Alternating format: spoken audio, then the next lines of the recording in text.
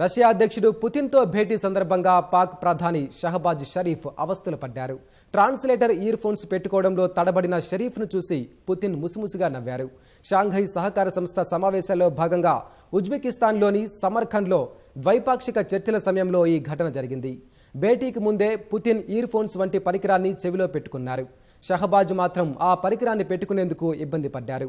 ఆయన సహాయకుడొచ్చి ఇయర్ ఫోన్స్ను పెట్టి వెళ్ళిన వెంటనే అది ఊడి పడిపోయింది దీంతో షహబాజ్ సహాయకుడు మరోసారి వచ్చి పరికరాన్ని అమర్చారు ఇదంతా చూస్తూ పక్కనే ఉన్న పుతిన్ నవ్వారు ఈ వీడియోను పాకిస్తాన్లోని పీటీఐ పార్టీ నేత ట్విట్టర్లో పోస్ట్ చేశారు ఈ క్రైమ్ మినిస్టర్ వరుసగా పాకిస్తాన్కు తలవంపు తెస్తున్నారని ఎద్దేవా చేశారు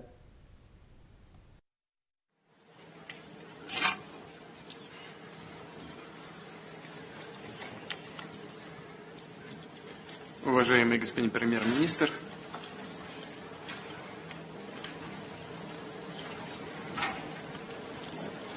Can somebody help me?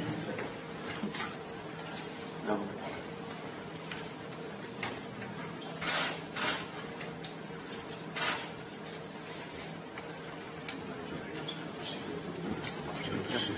уважаемый господин премьер-министр, идет перевод, все нормально? Yes.